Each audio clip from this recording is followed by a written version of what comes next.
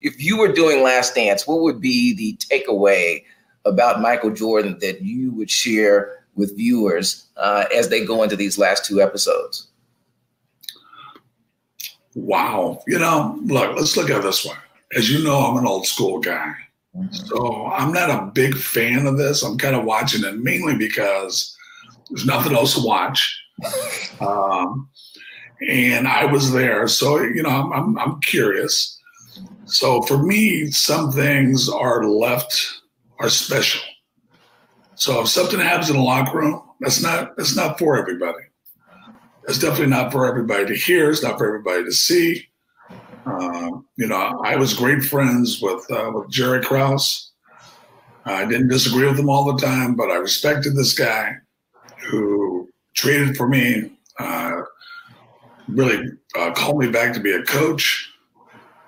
Um, you know, I still uh, uh, talk to Phil periodically. Uh, my greatest mentor who passed was uh, was, was Tex Winter. So um, a lot of those things that happen in the show that are said, they're personal to me. Mm-hmm. So that's probably the main thing. And also for an old school guy, uh, my teammates are extraordinarily important. So um, to make sure that they're not damaged in any way mm-hmm. by something that I would view to be inappropriate, that other guys consider no big deal, I do. So um, I'll watch it for that and call it for what it is. Um, you know, but I, I, will say that we had uh, my time in Chicago, my six years, I had over 30 teammates. So I would like to see some of those guys get mentioned.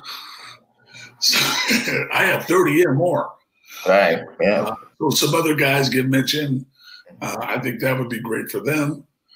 Um, you know, we had Tim Grover on there. We talked about him being a strength and conditioning coach. He was not our strength and conditioning coach. It was Michael's. We had the best strength and conditioning coach on the planet with Al Vermeil, uh, who's the only strength and conditioning coach to uh, coach professional baseball, football, and basketball. He gets no mention on there.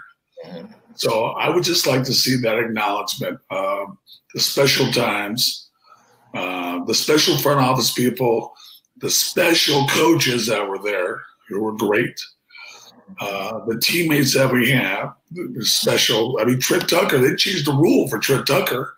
Right. And Craig Hodges maybe still the best shooter on the planet. Can we get a little acknowledgement for my teammates? All right. Uh, that's what I would like to say. Mm-hmm. Wasn't it a special time? Didn't we win six championships? What is all this about? Are we shouldn't we be happy? Right.